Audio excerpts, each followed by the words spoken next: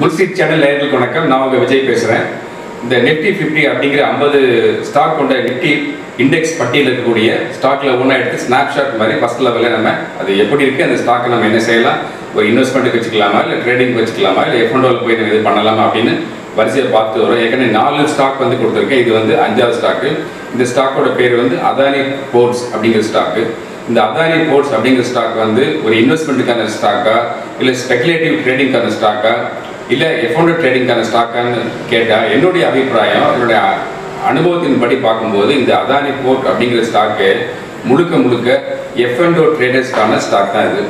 Investment அப்படின்னு பார்த்தீங்கன்னா long term இன்வெஸ்ட்மெண்ட்டுக்கு வந்து இது வச்சுக்கலாம். ஏன்னா இப்போ இருக்கிற பாலிசிஸ் அது இதெல்லாம் வந்து சில விஷயங்கள் சொல்ல வேண்டாம். அது எல்லாமே இந்த இந்த கம்பெனிக்கு பாசிட்டிவாக சப்போர்ட் பண்ணுற மாதிரி இருக்கிறதுனால இது மேலே போகும்.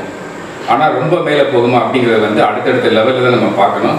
இப்போ இன்னைக்கு இந்த ஸ்னாப்ஷாட் லெவலில் பார்க்கும்போது இந்த ஸ்டாக்கோட இயர் ஹை எங்கே போயிருக்கு? இயர் லோ எங்கே போயிருக்கு? கரண்ட் மார்க்கெட் ப்ரைஸ் எங்கே போயிருக்கு எங்கே இருக்குது அப்புறம் இதோட ஃபண்டமெண்டல் பராமீட்டர்ஸில் ரெண்டே ரெண்டு பராமீட்டர் நம்ம எடுத்துக்கிற மாதிரி இபிஎஸ் பி ரேஷியோ எப்படிங்கிறது மட்டும் இப்போ வரிசையாக பார்த்துட்டே வருவோம். இந்த Adani போர்ட்டோட current market price three sixty three அப்படிங்கிற ரேட்டில் இன்றைக்கி முடிவடைந்திருக்கு. இந்த ஸ்டாக்கோட இயர் ஹை வந்து ஃபோர் தேர்ட்டி ருபீஸில் போயிருக்கு. Year low two ninety nine கிட்டத்தட்ட த்ரீ ஹண்ட்ரட் ருபீஸ் கிட்ட போயிருக்கு. அப்போ இந்த கரண்ட் மார்க்கெட் ப்ரைஸ் வந்து எந்த பக்கம் உட்காந்துருக்கு இயர் ஹை பக்கம் உட்காந்துருக்கா இயர் லோ பக்கம் உட்காந்துருக்கான்னு பார்த்தோம்னா இயர் ஹைக்கும் இயர் லோவுக்கும் மிடில் இருந்து கொஞ்சம் ஜம்ப் ஆகி த்ரீ சிக்ஸ்டி த்ரீ அப்படின்னு ஃபோர் ஹண்ட்ரட் நோக்கி போகிற மாதிரி தான் அவர் போக்கு இங்கே காமிச்சிருக்கு. அப்போ இந்த ஸ்டாக்கை எப்படி எடுத்து எப்படி பார்க்கலாம் அப்படின்னு பார்த்தோம்னா இந்த ஸ்டாக் வந்து இதோடைய ஒரு மொமெண்டம் ப்ரைஸ் அப்படிங்கிறது இந்த ப்ரைஸ் கிடையாது. த்ரீ சிக்ஸ்டி த்ரீ கிடையாது. இதோட தாண்டி அடுத்த லெவல் போகணும். அப்படி போகும்போது ஒரு த்ரீ செவன்ட்டி டூவோ இல்லை த்ரீ எயிட்டிலேயோ ஒரு ரெசிஸ்டன்ஸை ஃபேஸ் பண்ணிச்சுன்னா திரும்ப கீழே வந்து த்ரீ ஃபிஃப்டி த்ரீ அப்படிங்கிற மாதிரி வந்து கீழே வந்துருக்கு வாய்ப்பு இருக்குது அதுக்கப்புறம் தான் அது சஸ்டைன் ஆகுதா கீழே போகாம மேலே வருதுன்றதை பார்க்கணும்.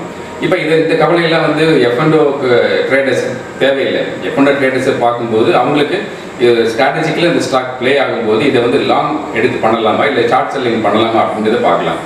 அதை விட இன்னும் சுலபமாக ஆப்ஷன் ட்ரேடர்ஸ்க்கு வந்து இந்த பர்டிகுலர் ஸ்டாக்குக்கு எந்த கால் எந்த புட் எடுத்தால் நல்லா போகும்? எதில் வந்து ஓப்பன் இன்ட்ரெஸ்ட் அதிகமாக இருக்குன்னு பார்க்கும்போது அதை சூட்டப்பில் அன்றைக்கி எடுத்துட்டாங்க அப்படின்னா அதாவது என்ன சொல்ல வரேன்னா பர்டிகுலர் மார்க்கெட் ஓப்பனிங்கில் பர்டிகுலர் டேயில் இந்த ஸ்டாக் வந்து பாசிட்டிவாக இருக்கணும் ஓப்பன் இன்ட்ரெஸ்ட் அதிகமாக இருக்கணும் நல்ல பயஸ் இருக்கணும் பர்டிகுலர் கால் ஆப்ஷன் எடுத்துட்டாங்க அப்படின்னா அவங்க நல்ல இதில் வந்து ஒரு நல்ல லம்பாக ஒரு ப்ராஃபிட் பார்க்கறதுக்கான வாய்ப்பு இது கொடுக்கும். அதே மாதிரி இது நெகட்டிவாக இருக்கும்போது அப்படின்னா க கரஸ்பாண்டிங்காக எந்த லெவல் புட் எடுத்தோம்னா புட் ஆப்ஷன் எடுத்தோம்னா அது வந்து அவங்களுக்கு ஹெல்ப்ஃபுல்லாக இருக்கும். ஸோ இந்த ஸ்டாக்கோட ஸ்ட்ரென்த் வீக்னஸ் பார்க்குறதுக்கு நான் சொன்ன மாதிரி EPS and P ratio so இந்த லேப்பில் டேட்டா எடுத்துக்கிறேன். இபிஎஸ் பார்க்கும்போது இந்த இபிஎஸ் வந்து twenty eight point four five அப்படிங்கிற லெவலில் இருக்குது. இதோட பி ரேஷியோ வந்து டுவெல் பாயிண்ட் செவன் ஃபோர் அப்படின்ற லெவலில் இருக்குது. பி ரேஷியோ வந்து ரொம்ப அதிகம் கிடையாது அதிகம் கிடையாது. அதிகங்கிறது வந்து டுவெண்ட்டி ஃபைவ்க்கு மேலே போனால் தான் இந்த பி ரேஷியோ வந்து இந்த ஸ்டாக்கோட வீக்னஸை காட்டும். இந்த ஸ்டாக்கோட ரிஸ்க் ரிஸ்க் லெவலில் இண்டி வார்னிங் மாதிரி இண்டிகேட் காட்டும். அப்போ இந்த ஸ்டாக் பார்க்கும்போது இது இன்வெஸ்ட்மெண்ட்டுக்கும் சூட்டபுளாக இருக்கும் ட்ரேடிங்க்கும் சூட்டபுளாக இருக்கும் எஃப்என்டோக்கும் சூட்டபுளாக இருக்கும் ஆப்ஷன் சூட்டபுளாக இருக்கும் அப்படிங்கிற மாதிரி ஒரு மல்டிபிள் மல்டி பர்பஸ் ஸ்டாக் மாதிரி இந்த அதானி போட்டிருக்கு. அப்போ இந்த அதானி போர்ட் ஸ்டாக்கை யார் வேணாலும் ஓரளவுக்கு பேசிக்கான ஒரு இன்ஃபர்மேஷனோட மார்க்கெட்டில் எடுத்து ட்ரேட் பண்ணுறதுக்கு அருமையாக இந்த ஸ்டாக் ஒத்துழைக்கும்.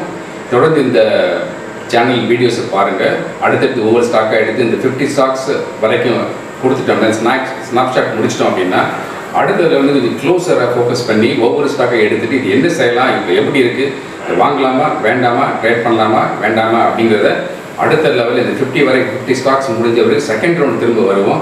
அப்போ நீங்கள் கரெக்டாக நீங்கள் அதை இன்னும் இன்டெப்த்தை நீங்கள் புரிஞ்சுக்கலாம். அதுக்கு அடுத்து அடுத்த லெவல் அடுத்த லெவல் போயிட்டு இருப்போம். அதுக்கப்புறம் கடைசியாக எஃப்என்டோக்கு வந்துடுவோம் எஃப்என்டோவில் இது எப்படி என்னென்ன ஸ்டாக்லாம் இருக்கோ அதை எப்படி பண்ணலாங்கிறதுக்கு வந்துடுவோம் அது எல்லாமே உங்களுக்கு பயனுள்ளதாக பயனுள்ளதாக இருக்கும். இந்த புல் ஸ்ட்ரீட் சேனலை அவசியம் பார்த்துட்டே வாங்க.